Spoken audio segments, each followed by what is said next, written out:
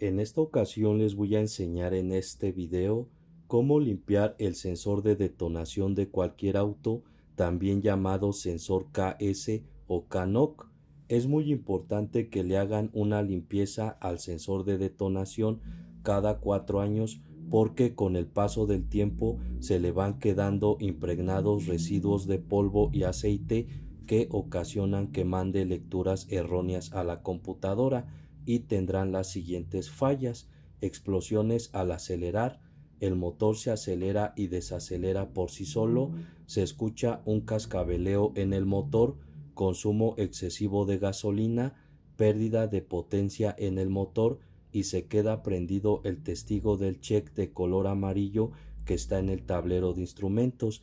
Y al escanear aparecen los códigos de avería P0327 y P0328. Van a utilizar un limpiador de contactos eléctricos como este que les estoy mostrando o también les sirve un limpiador de sensor MAF. Además van a ocupar una franela o microfibra. Lo primero que van a hacer es tomar el sensor de detonación.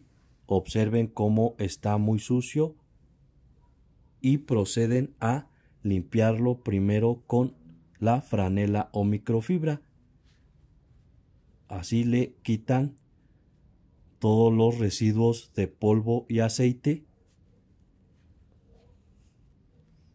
Observen cómo está quedando muy sucia la franela o microfibra. Sí tenía bastante polvo y aceite este sensor de detonación.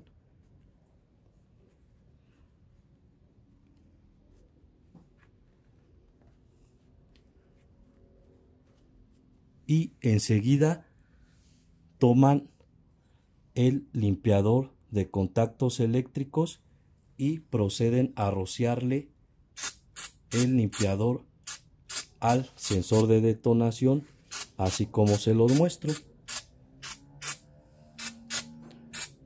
También rocian los pines para que hagan bien contacto con el arnés voltean de esta manera el sensor de detonación y también le rocían el limpiador de contactos eléctricos.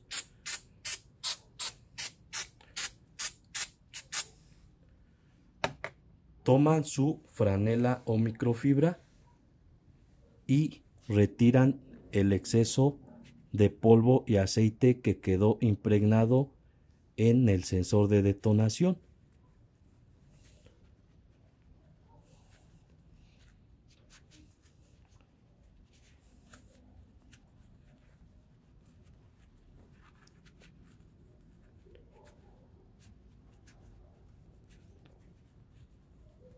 Y observen cómo ya quedó limpio este sensor de detonación. Nuevamente le rocian el limpiador de contactos eléctricos para que quede bien limpio el sensor de detonación. Lo voltean nuevamente de esta manera